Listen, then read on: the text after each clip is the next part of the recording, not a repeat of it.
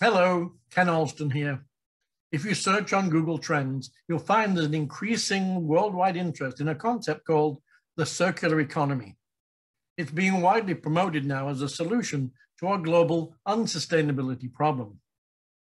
Now, for over 21 years, I've been privileged to work all over the world with businesses, speaking at universities and conferences about this concept, and advocating for systemic change in how we design, produce, sell, use, and ultimately waste product and materials.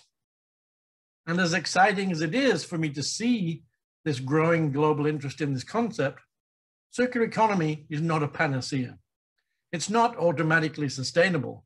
And while people are beginning to understand the basic concept, they have little or no idea how to actually implement these ideas at scale in the global economy with its complex supply chains and just-in-time manufacturing and distribution systems.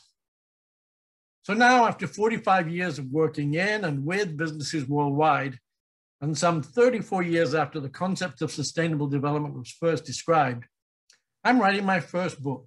It's provisionally entitled The Ultimate Business Cycle. And I'm doing it to help bridge the gap in moving from sustainability and circularity as concepts to actually implementing this in the real world. So I'd like to invite you to pre-order a copy for yourself.